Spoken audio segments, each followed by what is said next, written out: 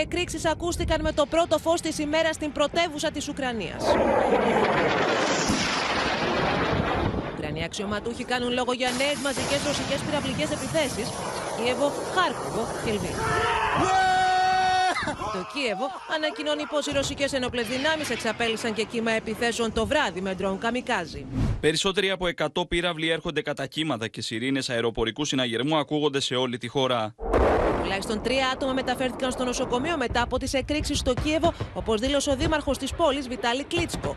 Είχε προηγηθεί η δήλωση του Σεργέη Λαυρόφ πως η Ρωσία επιθυμεί το τέλος του πολέμου, υπενθυμίζοντας ότι η προϋπόθεση για την επανέναρξη του διαλόγου με το Κίεβο είναι η Ουκρανική κυβέρνηση να αναγνωρίσει την προσάρτηση των περιφερειών Ντονέτσκ, Λουγκάνσκ, Ζαπορίζια και Χερσόνα.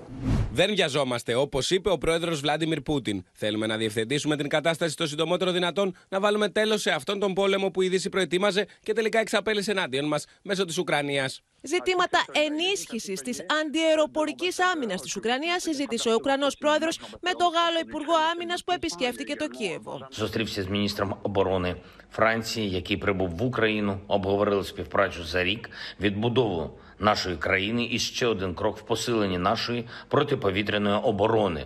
Дякую, Франції.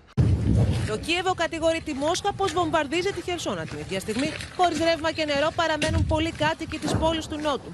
Αυτή η γυναίκα, μητέρα ενός τρίχρονου παιδιού, λέει πως το αναγκαστεί να εγκαταλείψει την πόλη.